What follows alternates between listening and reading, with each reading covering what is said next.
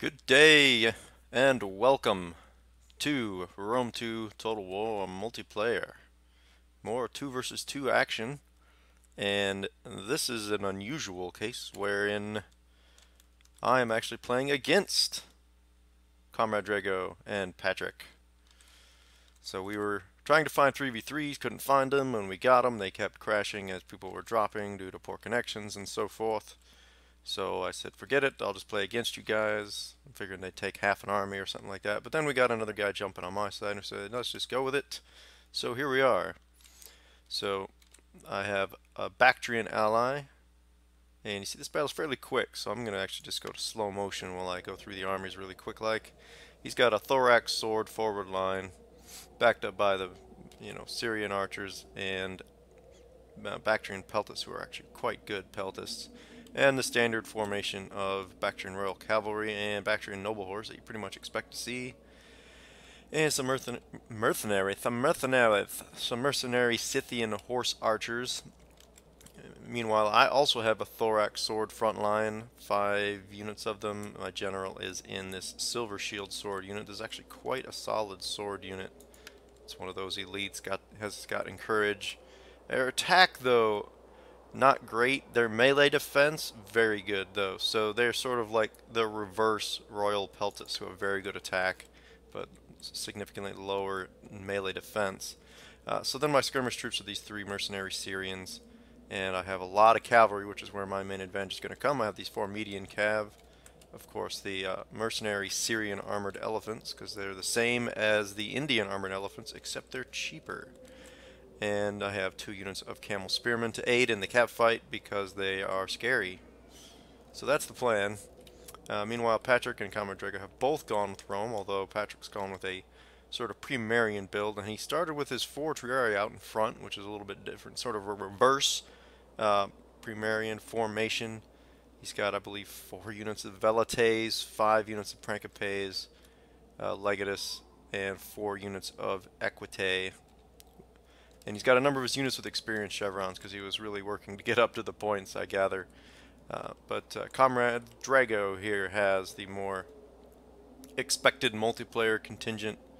He's got, I believe, six or seven Evocati cohorts. Looks like six. Then he's got an Eagle Cohort at either end for reinforcement and four morale support. Legatus, for Syrian archers, and I believe three, yes, three Legionary Cav. So let me go into real time, and this battle actually happens quite quickly. So my main gambit here is is going to be these Syrian armored elephants, because of course my infantry is not going to stand all that much of a chance against the Roman front line. So my goal with them is just to get them up here, and I'm going to try to take this, this hilltop here to, to give myself an advantage, allow my infantry to hold for as long as possible. You see his Syrians are starting to hit me back. And I'm going to return fire, but he's of course got more Syrians than I do, even though they're pretty much the same unit. He's going to come out ahead. Uh, these Thorax swords are going to take some damage, but they're going to hold reasonably well against a missile fire. They got pretty good armor for their points. And I'm going to bring all my cav over here, figuring that the Bactrian has the other side covered. And I'm going to just try to get multiple, you know, two-on-one engagements going here. So I got three medians against two legionary, and he has popped his uh, what do you call it, uh, Draco ability. So they're going to get a bonus against me. But uh, I have enough guys, and I'm going to quickly get surroundings on these uh, Legionary Cav. So I'm going to go engage these guys with median... Actually, I'm, i think I'm going to change my mind, bring them into the rear. And these camels are going to do the same thing. So he's going to reinforce, I'm going to rear charge them. So this is just going to become a massive melee. So you see, I'm, I'm intentionally holding back my elephants keep them back behind this slope as much as possible, so he's not going to see them until very, very late. Meanwhile, he's busy, busily engaging my front line, which which will go well for him. And uh, Patrick is also pushing into the uh, Bactrian thorax swords there. Now, he finally is able to see these Syrian armored elephants. Uh, but by this stage, the, the timing worked out just perfect and he's not able to do anything about it. He can't send cav to stop me, and his skirmishers are now being engaged by my cavalry. So this has just gone from looking pretty good for him to looking really bad. As you watch watch this charge here, this is just just brutal. All right, and you can't you can't see just how nasty it was until we pop up here. Look at that kill count climb. Single charge, they just devastated that Evocati cohort unit by themselves. Um, so with the cavalry taken care of now, I'm, I'm, doing the same thing with the median cav. We're not, of course, going to be quite as nasty, but the elephants have gone on. They've routed a second unit of Evocati cohort, and they're just going to keep moving on down the line. So some of these legionaries are going to come back, and some of these Syrian archers are going to come back, and my cavalry is just out there kind of keeping them busy. Now his legatus, he did get his legatus into my Syrian heavy archers, but uh, that was not really my the killing power for my army, so I was not actually even all that worried about it. I figure I'll bring my medians over to help fight him off, but not honestly that concerned about it in any case. So now that I got some thorax swords free, they're going to rush up, engage the Eagle cohort, try to flank it. As this this unit up here is already flanked, these uh, thorax swords are getting beat, but my uh, silver shield swords are pushing into these evocati from the flank. So it's only a matter of time before they give. Meanwhile, the elephants are, are still doing their thing.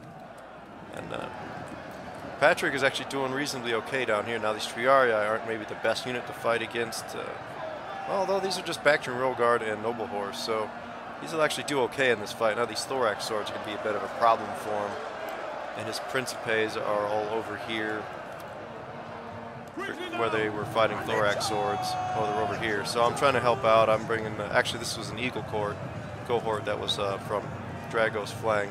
So I'm trying to get rear charges onto it. And the Thorax swordsmen are rushing back into that fight. So we got a couple of distinct melees going on. And meanwhile, the Bactrian cavalry is back here just absolutely throttling these Equites and Patrick's general. Even with those chevrons on them, they're not really going to be able to hold out against noble horse for all that long. They're losing decisively. So pretty much Drago's infantry is shattered at this point. It's only a matter of time before these last couple units break. The Syrian archers that regroup just got hit by my cheap little camel spearmen, so they're they're done. And now the elephants are free to come down here and help fight off Patrick.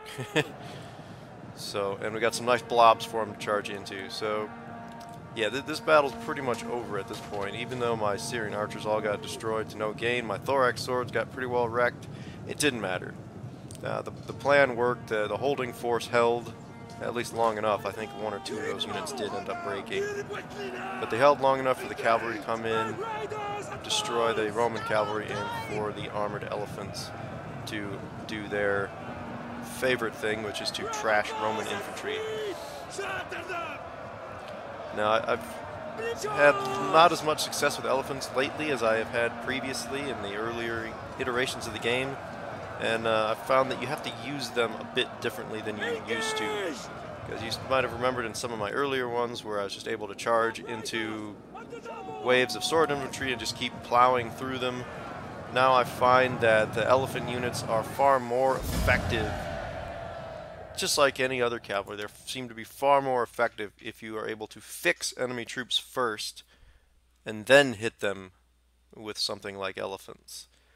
Um, and you see these guys gained four chevrons of experience, did 513 kills, and didn't lose any animals. So, yeah, so the thorax swords were getting pretty well spanked. Syrians did some damage, but nothing critical. It's all about the cavalry and the elephants for me. So, in any case, I'm not going to go through it in too much detail. I just wanted to show that. This is a, a way to use elephants that is more effective than charging right into swords, since they don't penetrate units as well, and as no cavalry penetrates units as well as it used to in previous patches. So, they're not as effective just trying to smash into unengaged infantry units. But if you engage them even with something of lower quality, so you could use the same thing with, um, say with Carthage with hoplites or something like that, just get hoplites engaged. And hoplites would stay there fighting Roman infantry for quite some time, at least the stronger ones with ones that have good armor and melee defense. If they're in hoplite wall will be quite time consuming to kill, and that would give the elephants lots of time to come around and spank them. As long as you deal with any archers in the vicinity, which is why I spent so much money on cavalry and in these camels to help scare off Roman cavalry. So in any case, thank you guys for watching. Uh, good game to my ally, series of numbers, and of course to Patrick and Comrade Drago. So, have a good day, I guess.